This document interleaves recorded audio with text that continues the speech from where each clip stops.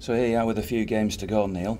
Um, you've had what six months or so in the job now, or maybe it just feels like it. Yeah. How, how do you feel that you, you know, you've you've sort of learned from this? I mean, do, do you know more than you did before now in terms of the Bolton situation? Are you more re- prepared now for getting what you want out of the players next season? Yeah, I mean, uh, the one consistent thing about us this season is we've been in- inconsistent. So I need to find um, a consistency of performance because we're not far away.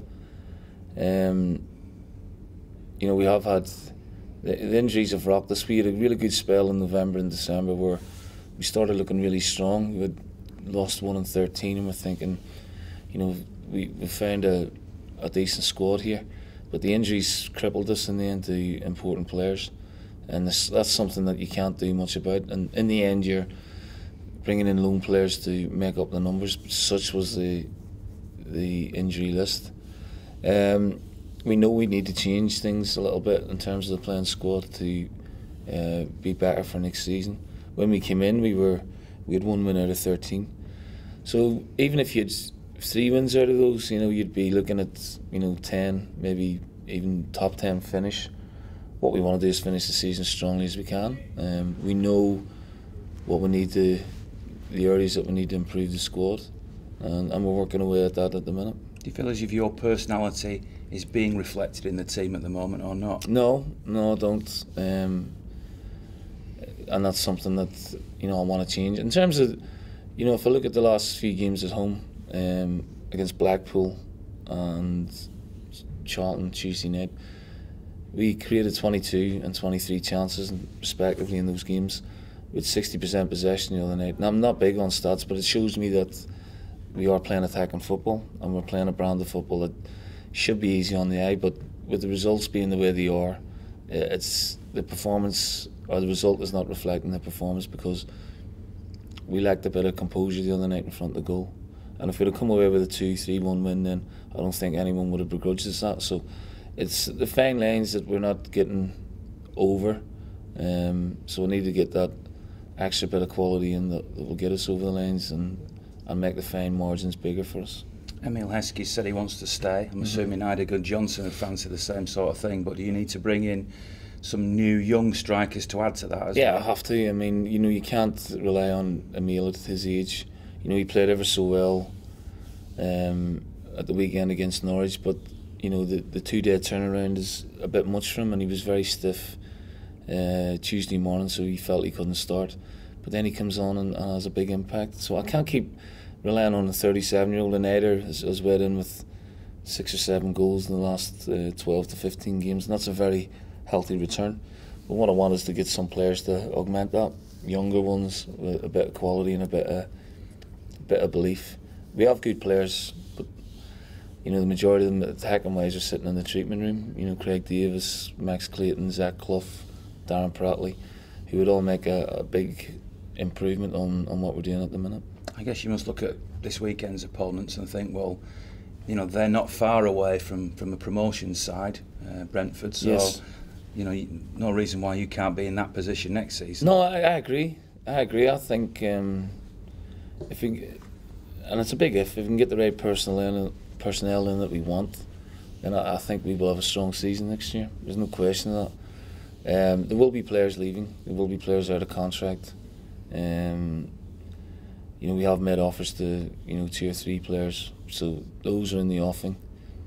But there's no question there will be changes, and um, you know, then I can put my own stamp on the squad because it's really not my squad at the minute. And your thoughts on this weekend's game? Looking forward to it. Tough game. You know, Brentford are going for a playoff place and they've been there thereabouts all season, which is a credit to Mark and the players. Uh, very attacking side, very forward thinking, creative. They've got good energy and, and quality at the top end of the pitch. So, you know, we're going to have to be at our best to get something out of the game. But, you know, we play them in Bournemouth and, you know, we want to spoil the party. Uh, we have our own agenda. Um, we want to get the 59 points, so that would mean winning the next three games, and, and that's the target that we want to get to. Everybody fit?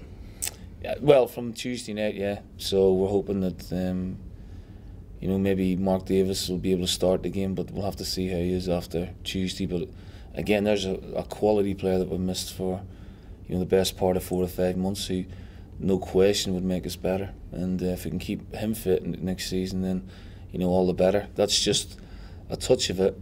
You know, Clayton had a cruciate injury when he was looking really well. Darren Pratley was playing very, very well. Um, Zach Clough as well. So we've got goals, you know, but they're on the treatment table at the minute. And when we have them fit and, and up and running, then I think we'll be a force. Does the anticipation of having this potential in your treatment room, does that almost make you kind of um, make you kind of look forward too much and think about next season already when you've got these three games to go? No, no, my focus is on the three games because you know we've thought long and hard about what what we'll do next season. Um, you know, the remit was to keep us up. We were on 50 points. We got there a little bit slower than we anticipated. Um, but at one stage, you know, six weeks ago, we had 12 players out injured, two goalkeepers, two first team goalkeepers, two strikers. You know, it was a, a list that I'd never come across before.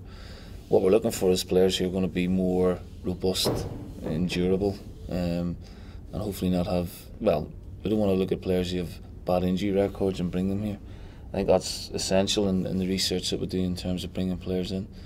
And then obviously we're looking for quality. Um, the I, I think we've got a good core and nucleus of a squad that if we can add some better players too, could yeah, I think we could make inroads next year, no question of that. That's exciting though for you, though, isn't it? Yeah, we are excited, but you know we've been really enjoyed the challenge. It's been different, obviously, from you know winning every week and dominating at Celtic, and that's another skill set that we we want to add to your managerial makeup. You know, seeing the game, you know, we've seen it at one end of the table, never seen it at a different end.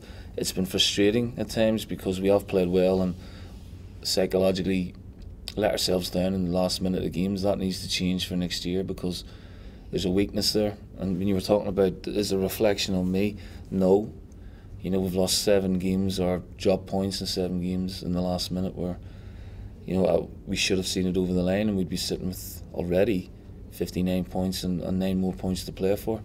So it's it's been a season of ifs and buts really, and we need to put that away and uh, make sure that there's no what ifs for next season. Do you think since the home fans were getting a bit kind of that kind of feeling and frustration and showing yeah. that yesterday, not yesterday, I mean last last week? Yeah, I mean I was frustrated because we had all the play, and um, the one thing we didn't do was the most important thing: put the ball in the net.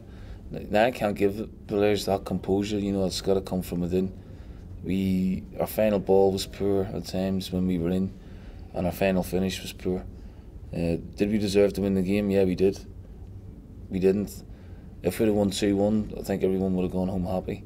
But we didn't. So again, there's that fine line, and it's a big line really that we need to cross and get better at. But um, you know, overall, was I pleased with the performance? Yeah. Did we attack? Yeah, at every opportunity.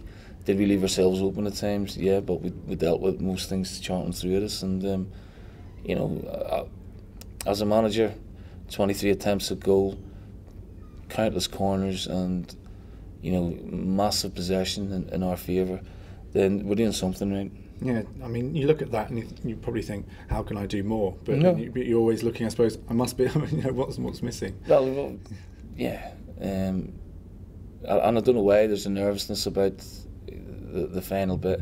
It's like to Green were excellent, and then we've got the yips when we come to putting. So it's just it's a psychological thing. It's nothing to do with ability or you know the the fitness. So they just need to just concentrate more and relax a little bit more in the final third. Yeah. Um, does it help that Brentford have got something to play for? Because yeah. it'll make it more entertaining. It gives an edge to the game. Although I enjoyed the game with Charlton the other night, I thought, you know, with, with no pressure on both teams, there was a, a freedom with the way both teams tried to play this will be a little bit more different. I think all the pressure's on Brentford, which will will suit us, and we have to try and capitalise on that. Okay. Actually, oh, just about Mark Davies, you mentioned he probably could start. I mean, it's a good opportunity to kind of warm him back in, isn't it? Well, starting might be a bit much for him at the minute. Um, we have to be softly with him because he's been out. He hasn't had any football really for four months. He looks in good condition. He's looked after himself very well, which is very pleasing and he comes on and he makes us better and he makes the players around him better. So you can see what we've missed. Um, we know we've got a very good player on our hands, and the important thing now for him and for us is he stays on the pitch. Uh, and he's, I mean, you, you, Barry could be, obviously, you'll bring the best out of him hopefully as well. I mean, have you had any thoughts about what might happen? Is there any kind of conversations going on with Palace or anything like that, or him over what might happen? No, but I think he's he's he's been pretty happy here, and he's he's enjoyed the um, his spell here. You can see that in the way he's playing. He's made us better. I like his. He's a footballer.